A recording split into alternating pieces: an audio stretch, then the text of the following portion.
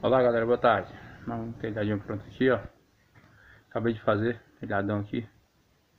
É, todo no esquema aí, ó. É, de serviço pesado aqui. Prontinho. Que vai ser uma casa depois do banheirinho que eu fiz aí. É, você que é do meu canal, se inscreve no meu canal aí. Qualquer dúvida, né? Telha Brasilite, telhadinho. Faltou depois só vem com reboco. Acabei de fazer o fechamento. Correto? Aí depois aqui divide a, os, os cômodos. Né? Aquele claro ali é duas telhas transparentes, eu coloquei. Lá vai ser uma janela. Aqui vai ser outra também, um vitrô. Correto? É isso aí. Sei que não ainda não viu meu canal, é, entra lá no YouTube lá. LV Construção. E é isso aí. Um abraço a todos aí.